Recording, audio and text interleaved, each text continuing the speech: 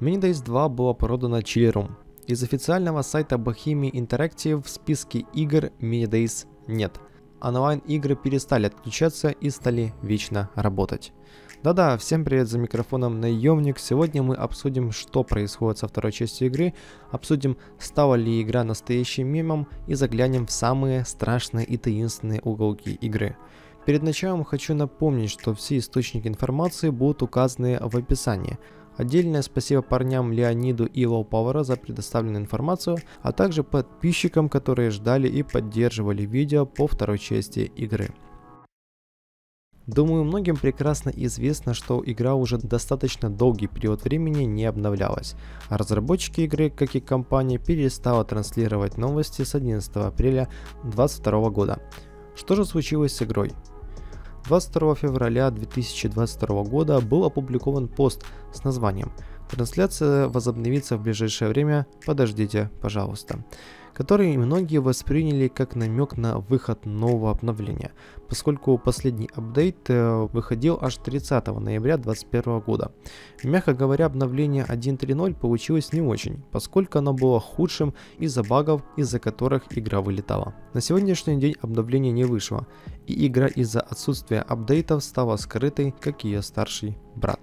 Несмотря на то, что игра не обновлялась, в игре работал онлайн режим, который, мягко говоря, работал отвратительно.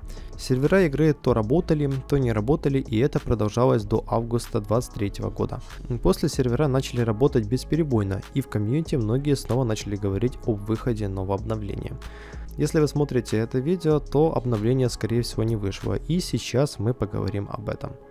В одном из ВК-пабликов с названием «Желтые новости» был выложен пост со словами «Недавно стало известно об удивительной новости. Наши репортеры быстрого реагирования первыми задали вопросы президенту компании о причине продажи».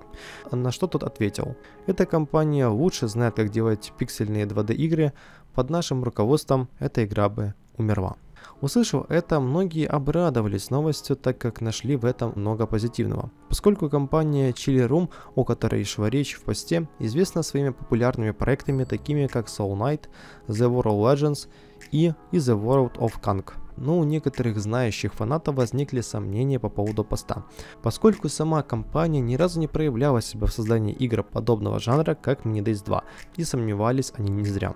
Если внимательно посмотреть на группу, в которой был опубликован пост, то можно понять, что в группе активно публикуются мемы, связанные с игрой, что с большой вероятностью нам говорит об недостоверности информации инсайда. Таким образом, с игры сделали мем. Получается, пост был ложью и обновления не будет. Несмотря на столь классный мем, все же в этом есть и доля правды. Думаю, многие знают о том, что я держу связь с некоторыми разработчиками игры. И в одном из разговоров мне рассказали об всей ситуации в целом, которая происходила после последнего обновления. Несмотря на яркий старт игры, не считая оценку и хит со стороны ветеранов, игра достаточно уверенно двигалась вперед, от обновления к обновлению. Но из-за странной тенденции внутри команды пошли разговоры о продаже игры одной из китайских компаний чтобы те создали третью часть, поскольку у нынешних разработчиков не было сил для дальнейшей разработки. Думаю, многие заметили, что в рассказе не было сказано про новое обновление, а сама продажа предусматривалась для того, чтобы продолжить франшизу игры в новой части. Неизвестно, сколько могла бы обойтись продажа игры, но судя по нынешней ситуации, цена на игру была бы ниже, чем это могло быть. Но почему же речь идет о создании третьей части, а не о продолжении второй? Думаю, многие понимают, что несмотря на классную задумку проекта, он имеет многие недостатки, такие как в первую очередь хейт, низкую оценку и особенности сложности разработки игры, с которыми столкнулась нынешняя команда. К тому же, возможно, есть и другие сложности, которые могут поспособствовать усложнению ситуации, при которых это могло бы отпугнуть от дальнейшей разработки игры в новой компании. Как личное предположение могу добавить, что еще одной причиной, при которой разработка была невозможной, это то, что игра не получала то количество средств, которое могло бы оплатить все расходы игры.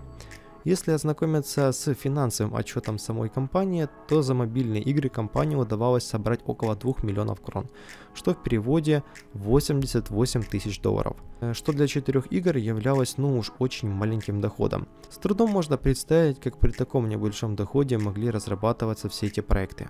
Но думаю, кто знается в этой теме, то прекрасно понимает, насколько же была сложная ситуация.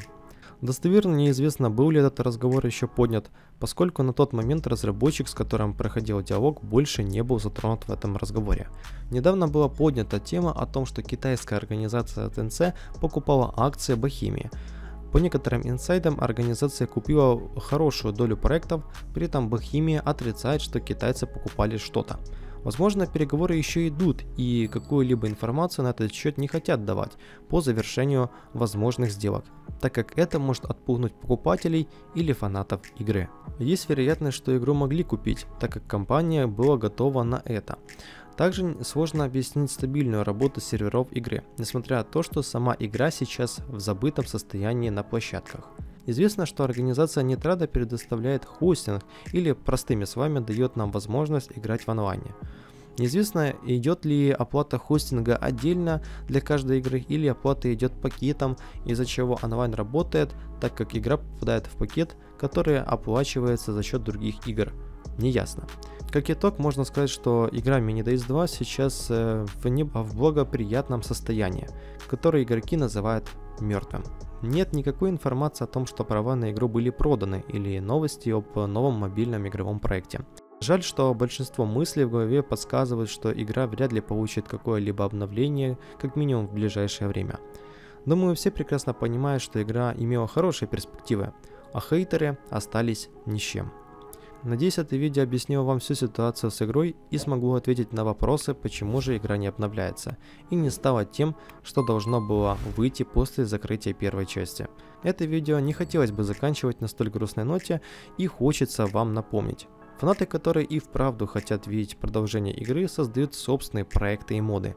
Всех их вы можете увидеть и поиграть у меня на сайте модов minidaysmods.com. Если вам интересно узнать историю об моддинге, как так получилось, что фанаты игры пошли именно в этом направлении, то пишите это в комментариях. Рекомендую вам вступить в мой телеграм-канал, где публикуются новости, и дискорд сервер, где я частенько общаюсь с подписчиками и провожу ивенты. За микрофоном был я, Наемник, спасибо всем за просмотр и до скорого.